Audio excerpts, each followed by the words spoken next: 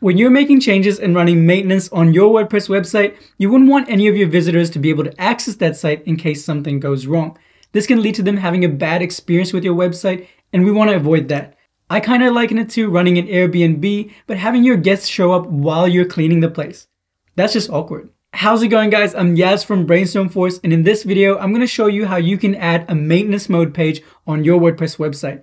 This is a page that when activated it will be shown to anyone that visits your website no matter what page it is. And this page will indicate that your website is down for maintenance.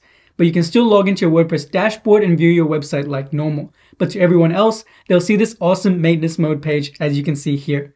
And if you're new to the channel, we're the company behind the most popular WordPress theme out there, Astra and we create content about our latest product updates as well as tutorials for beginners and non-coders. So if you want to improve your WordPress skills, make sure you subscribe down below and turn on your notifications. If you guys are ready, let's get started. Alright, I've just logged onto the WordPress website I'll be using for this video. This is the Astra theme with one of our awesome starter templates installed. These are professionally designed pre-built templates you can install in a single click. For instance, I'm using this amazing pizzeria one you see here. And everything you see on this page, all the content, all the features and widgets are all part of the template and I've installed them at a click of a button. If you want to learn more about Astra, I'll leave a link for it in the description below. Anyway, there are many different ways you can set up a maintenance page for your WordPress website. If you consider yourself to be more tech savvy and skilled with page builders like Elementor, you can actually design your own maintenance page just like this one I have here. This gives you a bit more freedom to design it and align it exactly to the design of the rest of your website. But like I said, this does take a bit more knowledge and skill to create. But the solution I'll be showing you in this video is one that any beginner can pick up and set up really easily. This is by using a plugin, and there are actually many plugins that can help you create a beautiful maintenance page. But the one I've chosen for this video is called SeedProd. And for me, this one offered the best balance of features and customization for free. First, I'm going to go into my WordPress dashboard right at the top here. Go into plugins and press add new. And the one we're going to look for is called SeedProd. So you can search for that here. And this is the one we're looking for. SeedProd right here. Coming soon page, maintenance mode, and landing pages. As you can see, I've already installed this ahead of time. But if you're doing it for the first time, press install. And once that's installed, you can press activate. And once the plugin has been installed, you should see it on the left-hand side of your WordPress dashboard right here. And we're going to click on pages right here. And this brings us into SeedProd's page menu. SeedProd is actually a powerful landing page builder, so it's packed with some really cool features. But in this video, we'll be focusing more on the maintenance page. Right here, you can see that you can create a coming soon page, a maintenance page, as well as login and 404 pages. These are all features that come with SeedProd, but the login and 404 pages are all part of the Pro plan.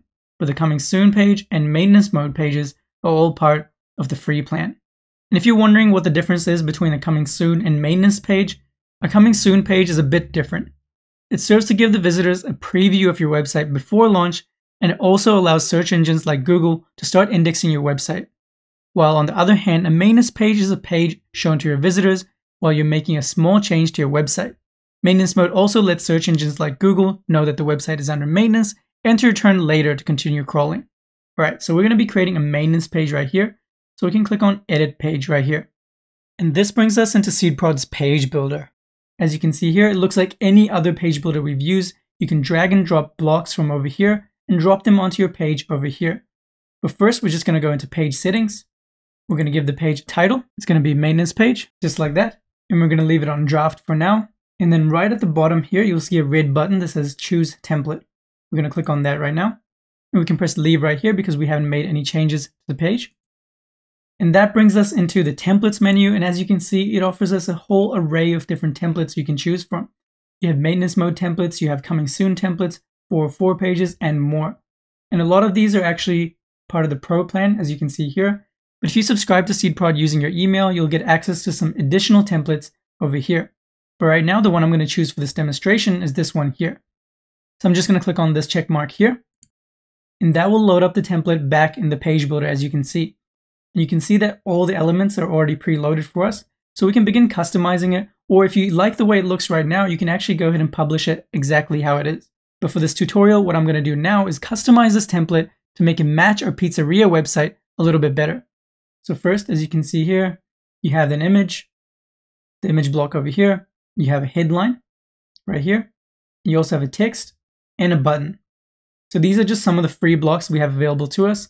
We can drag and drop and customize them exactly how we want. But as you can see here, you have a whole lot more variety in terms of blocks you can choose from with the pro version. But for this tutorial, everything we need is here as part of the free version. So first, I'm just going to click on this image here and I'm going to replace this with one from the pizzeria. I'm going to click on the image here and that should load up our settings on the left hand side like this.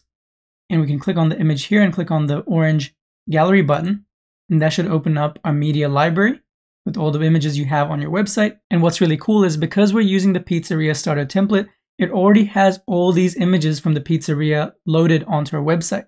So I can just go ahead and select any of these images and use them on this page builder as well. So I'm just going to click on this image here because I think it looks quite good for the maintenance mode banner. I'm going to click and select that over here.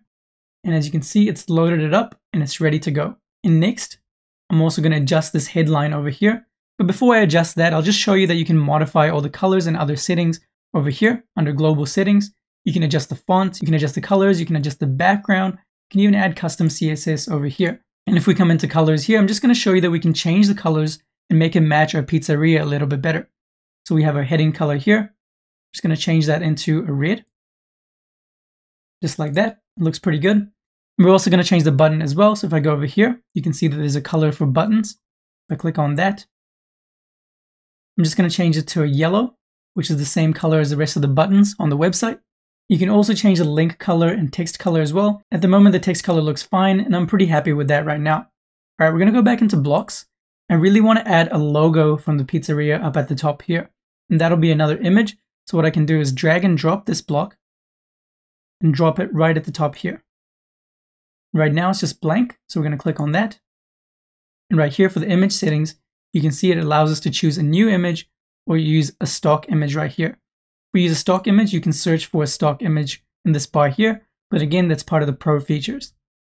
So right now I'm just going to open it from, from our media library.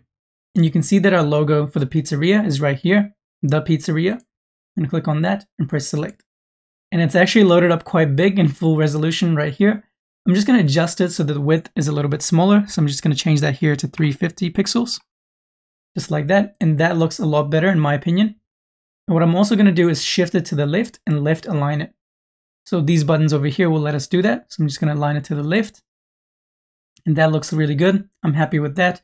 But I also want to add a little bit of padding or spacing in between the logo and the banner over here, just to match this gap that we see at the bottom here. So what we can do is actually duplicate the spacing block here, just by clicking this button, duplicate block. And then we can drag it to the top and place it there. So now you can see there's some spacing over here and some spacing here as well. And that looks pretty good. And what I'm also going to do is align this headline here to the left hand side to align with the logo. So you can do that by clicking on the logo block and you have your align settings over here. You can align it to the center just like now, to the right hand side or to the left hand side. I'm pretty happy with that. I'm going to do the exact same thing with the text you see here. Align and lift. And again, arriving back at the button, you have a lot more settings when you click on the button itself. So you can change the text on the button right here. And right now it's emailing to an email address you can enter here. Again, you can align the button whichever side you want. Change the size to Excel. That's a bit too large. I'm going to change that back into medium. You also have some templates here you can preload with different designs and different color schemes. See like here, a red one, yellow one, even a rounded one you see here. You can also continue to adjust it even more by changing the color, the padding, the style, everything right here. They offer a really good amount of customization with this plugin. But right now, I'm actually going to delete this button and replace it with the contact form. So I'm going to click delete right here. And right here, you see contact form. I'm going to drag and drop this right here. And once you click on this block, it should load up the settings here. It allows us to select a form right here. And it's using WP forms, so anything you've created there will be present here as well. So simple contact form, I'm going to click on that. And right here, you can see that it's loaded up our form and it's good to go. And that's it. That's all I want to do for my maintenance page. I'm really happy with the design we've just created. So I'm just going to click on the save button at the top right here. And then we can press this X button over here to go back into our dashboard. Once we're back on the pages menu right here in our dashboard, under maintenance mode, you can see that there's a toggle at the bottom here that says inactive. If you're ready to turn your website into maintenance mode and enable that page we've just created, we can press this toggle right here. And once it reloads, you can see right here at the top, it says maintenance mode is active. And if I go into an incognito window and type in the name of our website, Visiting it as if we're a random stranger, you can see that it automatically takes us onto the maintenance page that we've just created. And if anyone tries to access any page without logging in, it will automatically take us onto this page you see right here. And in my opinion, it looks really good. The pizzeria logo up at the top. We also have a banner, we have a title, and also a contact form here. So anyone can enter the information if they'd like to, and press the submit button right here to contact us. It's as easy as that, and if you actually log into your WordPress dashboard, you'll still be able to see the rest of your website like normal. This page is only visible to anyone that's not logged in to your WordPress dashboard. And then when you're done conducting maintenance on your website, you can easily come back into the SeedProd Pages menu, come into maintenance mode you see right here, and again, back to this toggle, and just switch it off by clicking on it here. You can see right now, it's changed to inactive.